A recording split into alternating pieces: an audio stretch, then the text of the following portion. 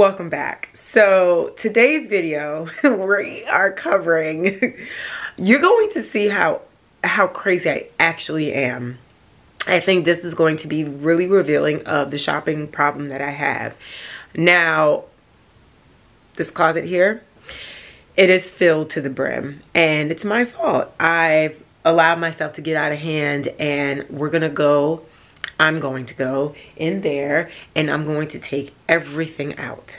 And I'm going to put it out in the bed and on the floor and I'm going to go through everything carefully.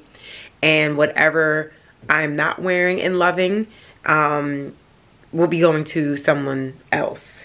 Um, either by purchase, do donation, going to Beacon's Closet. Um, yeah, I can't have this stuff in here. It's it's to the point where the clutter of the closet is overwhelming and some days I just don't care. Like I'll just wear whatever I wore the day before. Like it's getting out of hand. And I think also year 2020, you know, being in the house, for some reason, people were shopping so much, including myself, by trying to fill some type of void during 2020 where, you know, we couldn't go out, we couldn't do the things, we couldn't enjoy certain things. So just buying and holding it until outside reopened was, I guess, the the brains behind the purchasing? I don't know. Comment below and tell me if you did the same thing and do you understand your reason why. So let me just show you. So here's the the closet. So i even have things spilling out into the room. Um i have no space for all the shoes at this point. It's gonna hide because yeah. I have drawers filled to the max. I don't even know what's in the drawers I, I have things on hangers that I can't, I don't even know what's in here, you know? so how do you know when you're getting dressed, like what you're looking for exactly? You can't see anything. This is absurd. And I actually want to, um, I want to turn this dresser this way because this little area, well, maybe, maybe we'll keep it this way. I don't know, but it's, it's giving claustrophobic. So everything's about to get removed um, and it's a lot. It's a lot going on. Jesus. Okay. I feel like I might cry. I feel like I'm gonna cry during this purging session. But I have to get to it. So, taking everything out now. Okay, so I've pulled everything out of the closet and the drawers except for my my call it my underwear drawer. And after I sift through all this stuff I'm gonna go back in here and I'm gonna attack the shoe situation and get that cleared up. But everything is out as far as clothes are concerned. I'm not gonna I'm not gonna lie. I'm not gonna lie I'm really overwhelmed by the amount of stuff that just came out of here. Like, for one person, this is too much. This is too much.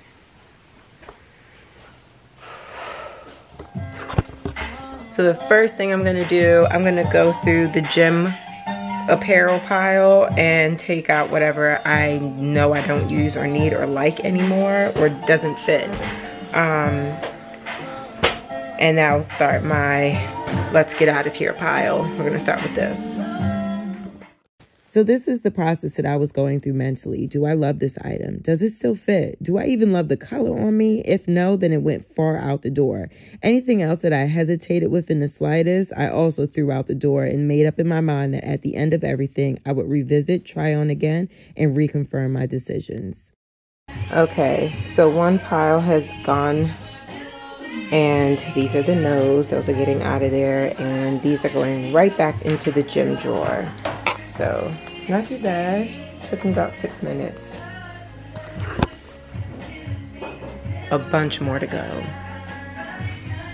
Okay so I got through a good amount of things that was on the floor here but it's still like mayhem. And I was able to create more of a pile of getting out of here. So I started putting things back on the shelf and I even moved the dresser so I have a little bit more space right in the front here. So right now I'm gonna go through the coats, but this is what the shelving is looking like. There's a couple of jeans that I found that I need to try on to figure out if I, if you know, if they're a good fit and if I love them. But so far so good. I think I've only an hour in at this point. So I got overheated at one point. I had to put my t-shirt on because that sweater was not helping me. And I nicked my finger and I started bleeding a little bit. So this is this is a this is a thing. This is like a sport. I'm happy that this pile is growing. Things are getting out of here. And I'm actually not taking too long making decisions. Like if I'm thinking too hard, then that tells me no. And I'm just like tossing it to the side. And what I'll do with this pile once I'm once I'm done, I'm gonna go through the pile again, figure out what will be donated and what I will actually sell. okay, so I know the lighting looks crazy. Hold on, sorry. Look, Carlos back there. What you doing? What you doing back there, Carlos? Cleaning up. He's been cleaning up all day. Let me show you.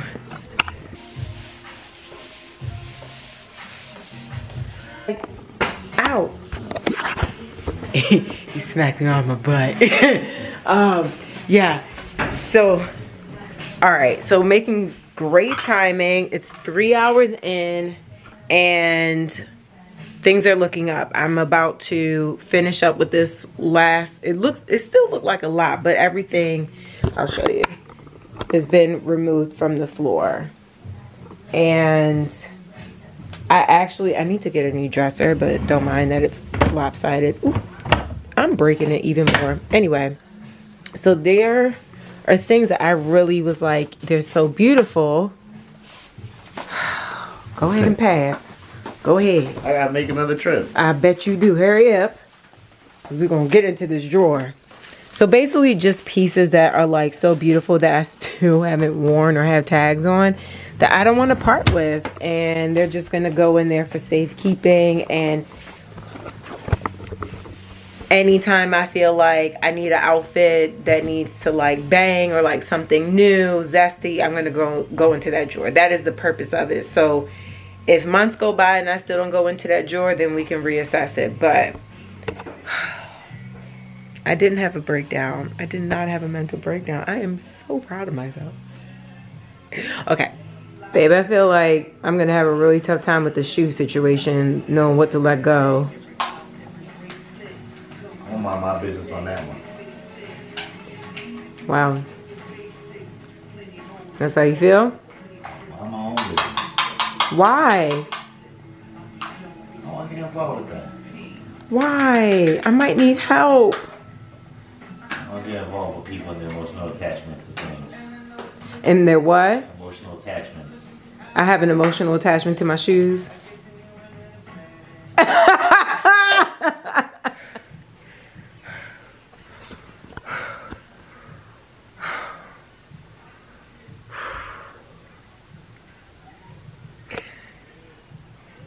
This stuff down. Whoa, got a little dizzy. okay, the top is done. The shoe, most of the shoes are out from underneath there, and it is a situation out here. Okay, so I'm leaving space here so I could try on some things in front of the mirror, but um,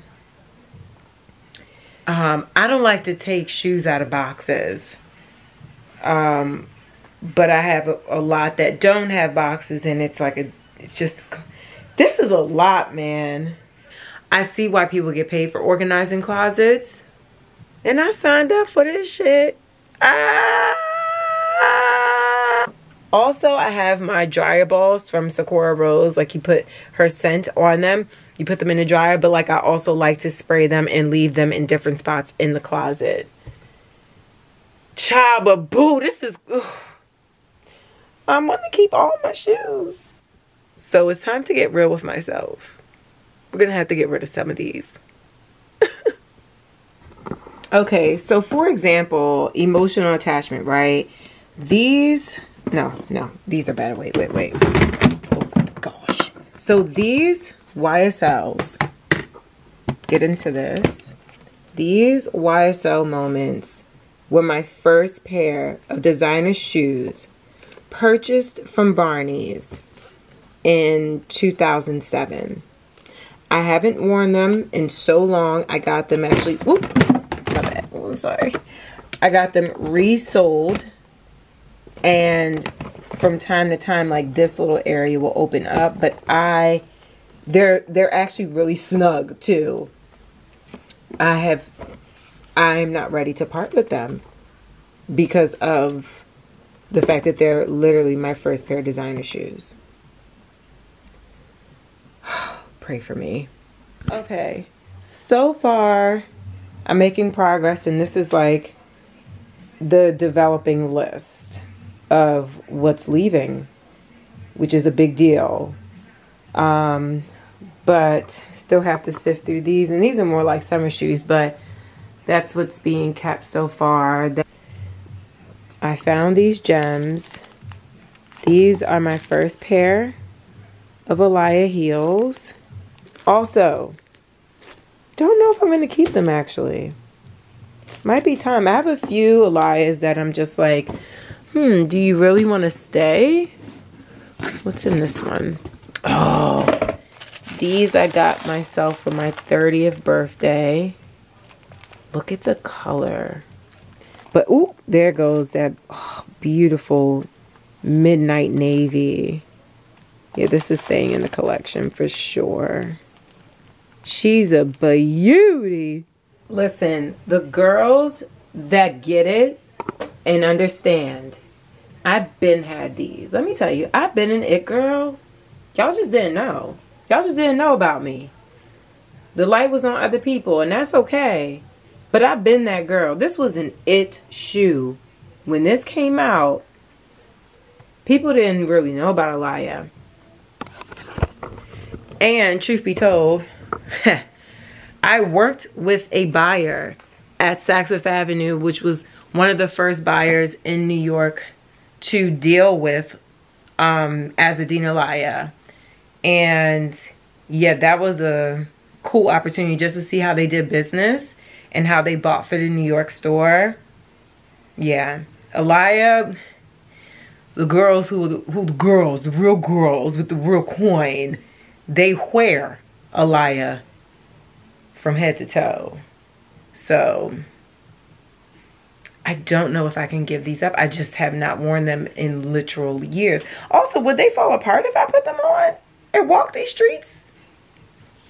I might even put it in a um in some resin. Some of these things deserve to actually be put in resin. That's where I'm at mentally.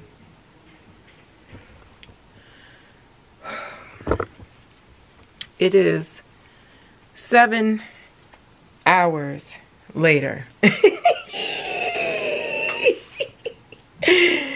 and I'm just about to complete my task.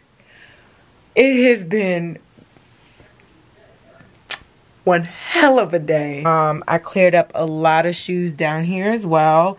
And for these, I want to leave them here to push myself to wear them within the next two weeks.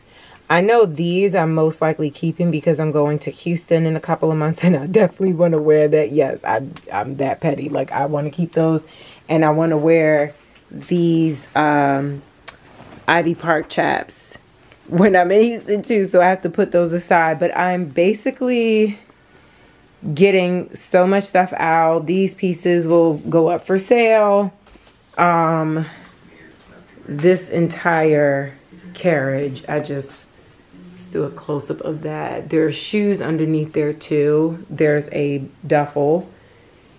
These are workout clothes I no longer want to be associated with. Oh my God, they're too big or they're cheap or just like, ugh. I'm going to give these up for donation. There's a lot of new clean socks between me and Carlos. Um, I don't know why. I don't know why we have so many random socks you know, and the good thing is I went through my get the hell up out of my house pile again as I was folding them into the carriage just to like kind of double check and make sure I want to let these go. Um, and I'm feeling good. Like it feels so much lighter and I mean it still seems like maximal. Is that a word? I don't know.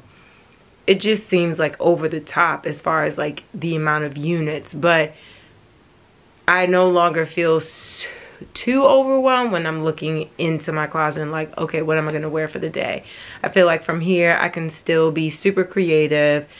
Um, you know, my style is eclectic, androgynous. Um, and I feel like I can see that. Uh, the next thing I'm to do is reorganize the drawers. Like, and I'll post on my Insta this week to see if the girls want me to do a closet sale or if I'm just to give it to Beacon, see what I could do there or just donate. Because if I do a closet sale on live, IG live, it, it'll go over an hour. And like, who has the time? Who has the time? And like, I'll see what the girls say though. Because the girls might amp me up and make me do it. Like, I might do it. But we'll see. I'm not to lie to y'all. I don't want to shop. I don't want to see not nan stitch of clothing for a very long time. It is 9.57 at night, All-Star weekend. And I just finished. I just finished organizing this. Can't barely see because it's mostly black, but that's all my gym stuff. Like, and then I organize the panty drawer with the socks and the onesies. But I literally did everything I was supposed to do and now I'm sick of everything. I I'm sick of myself. Look at this. Look at this. Look at this mug.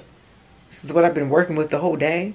I'll recap and do a checklist and everything for y'all. I just and Euphoria is on tonight. I'm gonna sit down. I'm gonna enjoy it thoroughly.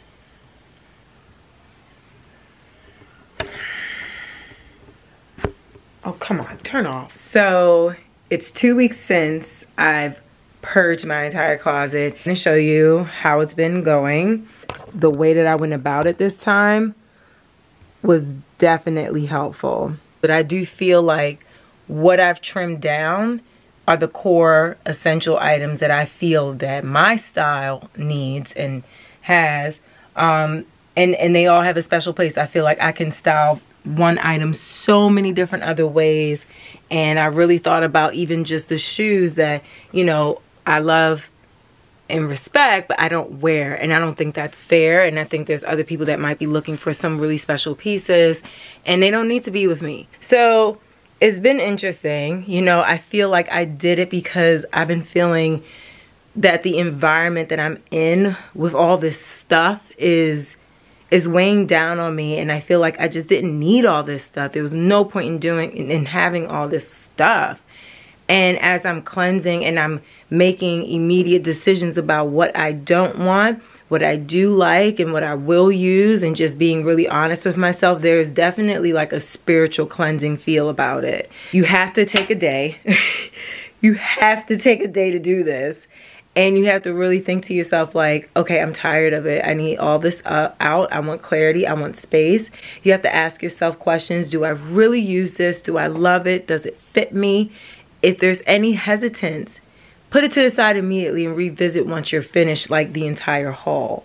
And think about what your style is too. Like what are the pieces that are so important to you? What are your essentials? What are your non-negotiables and um, curate your wardrobe in that way. And if that means everything must go and you need to start over, and you know, if you don't have the budget, do that slowly. But if you do have the budget, then do that. You know, sometimes when we rid ourselves of material things that we just feel so heavy and weighed down to, down on, there's no use of keeping it. so there's definitely, you know, early spring cleaning for me. I know I'm definitely early on this note, but um, it's like I have way more room to think. I feel like I've been so much more creative, so much open and receiving other creativity.